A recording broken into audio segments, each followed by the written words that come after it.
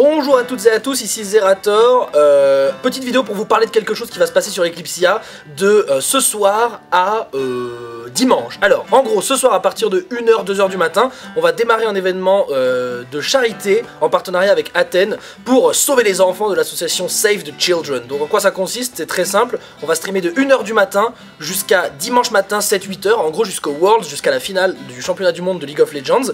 Et tous les streamers Eclipsia vont se relayer sur des jeux euh, qui n'ont un intérêt ou pas d'ailleurs. Donc ça passera du jeu de plateforme au jeu de simulation, au jeu de course, au MMORPG, au ce qu'on veut. Et il y aura à peu près tout le monde. Il y aura même peut-être Amaury qui va jouer un jeu de lama, je vous en dis pas plus. Voilà, il y aura tout le monde, venez, ça va être très très bonne ambiance. L'idée c'est de, s'amuser, sans pression, il y aura je pense pas beaucoup de pubs, on va vraiment beaucoup tous se relayer, ce sera sur la TV 1 de 1h du matin jusqu'à 7h du matin, donc à peu près 30 heures de live, j'espère que vous serez nombreux, à tout à l'heure, et... Et quoi? Et quoi d'autre? Voilà, soyez nombreux.